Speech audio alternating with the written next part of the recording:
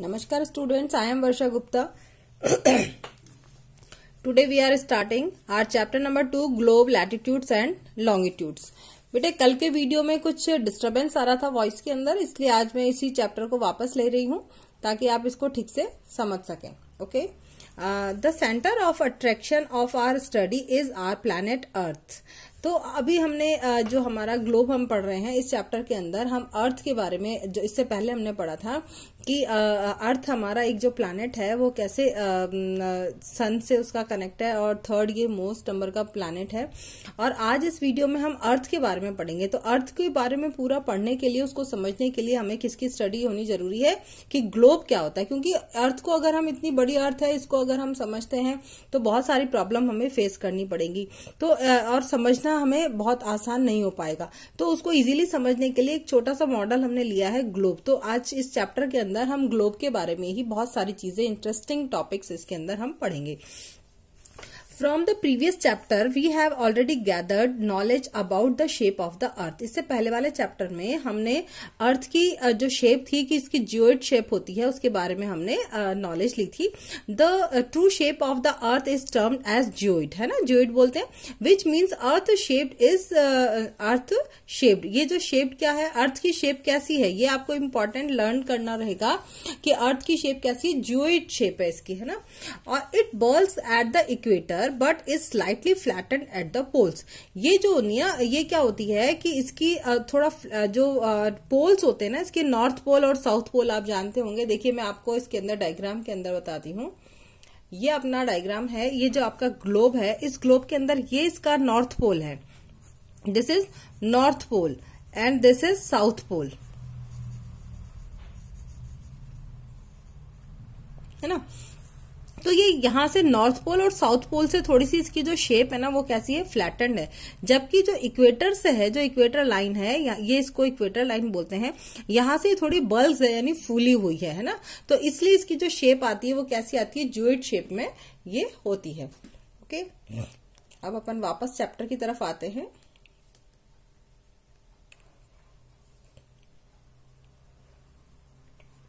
Yes yes. It is slightly flattened at the poles. The diameter of the earth round the equator is 12,756 जो अभी मैंने आपको equator बताया था वहाँ से ये कितना इसका डिस्टेंस है 12,756 kilometre while the polar diameter is जो नॉर्थ पोल से साउथ पोल की तरफ़ जो इसका डायमीटर आता है वो आता है 12,712 kilometers. The best proof regarding the shape of the earth comes from aerial photographs taken some satellites. इसके जो सैटेलाइट्स uh, के थ्रू बहुत अच्छे फोटोग्राफ्स के जो अर्थ की शेप को क्लियर हमें बताते हैं। आगे देखिए to to study the shape of the earth it various features and characteristics in our geography laboratory and classroom we have devised a globe a true dimensional model of the earth of any spherical celestial body is called a globe जो हम three dimensional model है इसका spherical shape में celestial body जो है हमारी earth इसका three dimensional model जो है वो क्या कहलाता है? ग्लोब कहलाता है। तो व्हाट इज़ ग्लोब तो अगर ग्लोब की डेफिनेशन आपके पास आ जाती है तो आप लिखेंगे a true three dimensional model of the earth और any spherical celestial body is called globe है ना? या फिर आपसे पूछा जाता है कि अर्थ की शेप कैसी होती है? सॉरी ग्लोब की शेप तो ये कैसा होता है? थ्री डायमेंशनल मॉडल होता है ओके okay? ये जो वर्ड है the globe the word globe comes from the Latin word globus means sphere इसका मीन मतलब क्या होता है? स्फेयर तो इस ग्लोबस से बना है sphere globe When you look at a globe in the classroom, a museum, you will notice that it is usually mounted, uh, mounted at an angle. तो ये जो हमने जो ग्लोब देखा है अपने क्लासरूम के अंदर आपने देखा होगा अभी हमारी जब ऑफलाइन क्लास होगी या मैंने अभी पिक्चर आपको दिखाई है ये भी कैसा है? थोड़ा सा आ, अपने एंगल से झुका हुआ है। The angle of the mountain represent the axis of an angle of the planet in the relation of the sun मतलब ये जो झुका हुआ है ना ये क्या कहलाता है? एक तो एक्सेस को रिप्रेजेंट करता है और दूसरा कि जो प्लानट है हमारा वो सन की तरफ़ किस एंगल से झुका हुआ है उसको रिलेशन को ये बताता है कि उसके सन के साथ हमारा एंगल एक्चुअल में कैसा है the axis of the real earth is an imagery line अब जो एक्सिस है ये कोई आ, सही में लाइन नहीं है कि अर्थ के बीच में से कोई एक लाइन जा रही है नॉर्थ पोल से साउथ पोल पे कोई एक लाइन खींची हुई है नहीं ये केवल एक इमेजनरी लाइन है जो कि नॉर्थ पोल से साउथ पोल की तरफ़ आती है। और जिसके चारों तरफ़ जो है ना हमारी जो अर्थ है, वो रोटेट होती है। We can spin the globe because of this mountain to represent represent the spinning of the earth on its axis हम जैसे ग्लोब को अपने ये जो आपने अभी ग्लोब देखा था ये देखिए ग्लोब इस ग्लोब को हम अगर इस तरह से घुमाते हैं तो ये चारों तरफ़ अपना राउंड करता है।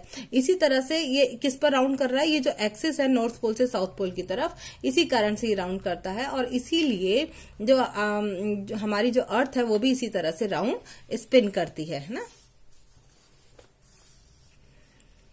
This makes it easy to visualise day and night इसी कारण से हम डे और नाइट को बहुत अच्छी तरह से समझ सकते हैं ग्लोब के through and the changing season और जो, हमारे सीजन्स चेंज हो रहे हैं ना समर के बाद फिर हमारा ये स्प्रिंग आ जाता है और फिर उसके बाद विंटर आता है है ना? तो ये सारे जो सीज़न हमारे चेंज होते हैं उसको भी हम इससे बहुत आसानी से समझ सकते हैं. The axis of the earth is tilted tilted at an angle of 23 and half degree to the vertical plane plane surface से ये अगर हम इसको देखें तो ये कितना डिग्री थोड़ी झुकी हुई है टिल्ट हो रही है। ये थोड़ी टिल्ट कितना टिल्ट हो रही है, यानी ये झुकी हुई ये स्ट्रेट है। अभी आपने जो ग्लोब देखा, ये देखिए ग्लोब है। ये स्ट्रेट फॉर्म में नहीं है। ये थोड़ा सा क्या हो रहा है, इस तरह से इस तरफ़ झुका हुआ है।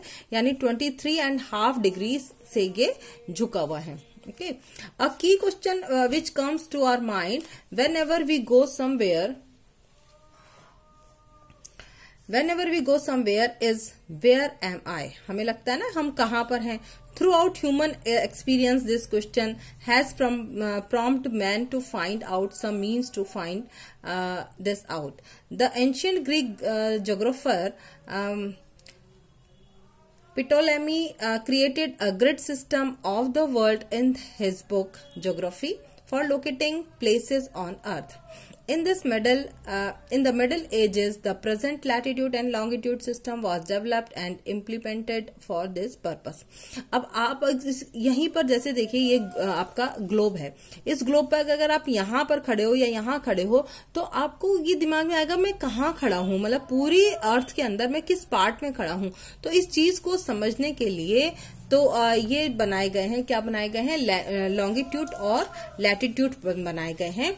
और ये जो लॉन्गिट्यूड और लैटिट्यूड क्या होते हैं, इस पर हम डिस्कस करेंगे प्रीवियस अपने वीडियो के अंदर। आज की वीडियो में स्टूडेंट्स इतना ही। Thank you and have a nice day और जो भी आपके इसमें अंडरलाइन मैंने लाइंस करी हैं, इन सबको आप अपनी नोट्स कॉपी के अंदर नोट डाउन ज़रूर कर लें, क्योंकि ये एग्ज़ाम के पॉइंट ऑफ़ व्यू से शॉर्ट क्वेश्चन के पॉइंट ऑफ़ व्यू से वेरी इंपॉर्टेंट लाइन से okay thank you and have a nice day